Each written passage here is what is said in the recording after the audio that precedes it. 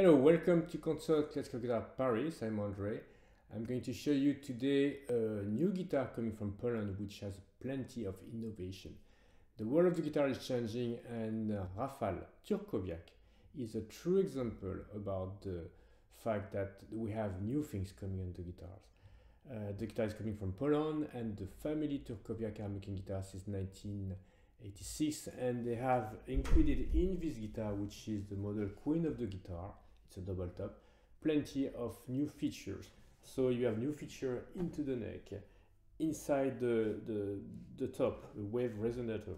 And as well the way they make the the back end side to have fit light but still very rigid is uh, has been registered as a patent. Uh, the craftsmanship is perfect and Philip will explain to you uh, later on. So I'm going to just to play a little bit of uh, this guitar to show you the sound of this very modern guitar.